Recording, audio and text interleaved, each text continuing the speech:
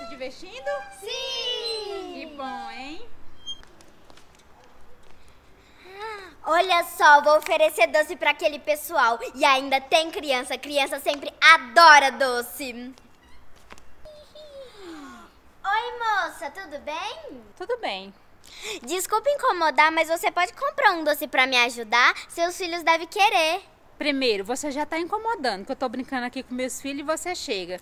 E segundo, meus filhos não gostam de doce. Olha só, e esses daqui parece que ainda estão vencidos. É mesmo, a gente não gosta de doce. Sai daqui. Pois é, a gente não gosta de doce. Sai daqui, menina.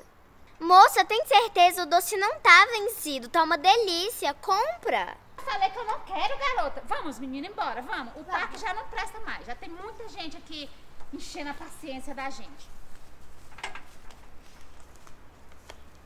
Ah, ninguém quer comprar meu doce e eu tô precisando muito. Eu tô passando fome. Ah, vou brincar um pouquinho. Vai que alguém aparece. Oi. Eu acho que aquela moça deixou a carteira dela cair. É a carteira dela mesmo. Ai. Quanto dinheiro! E eu tô precisando tanto. Mas eu não posso pegar, até porque esse dinheiro não é meu. Eu vou devolver pra ela. Moça, moça! Moça! Nossa, você de novo. Eu já saí do parque porque você tava lá enchendo a paciência e vem atrás de mim. Me desculpa, moça, é que você deixou sua carteira cair. Deixa eu ver se tá tudo aqui.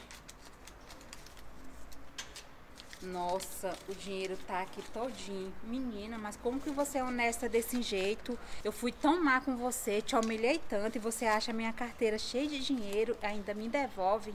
É porque a minha mãe sempre me ensinou o que é meu é meu e o que é seu é seu. Nossa, menina, você tá de parabéns. Toma, pode ficar com esse dinheiro. Sério, moça? Muito obrigada, vai me ajudar muito. Nada, garotinha. Esse dinheiro é pela sua honestidade e o mundo precisa mais de pessoas como você.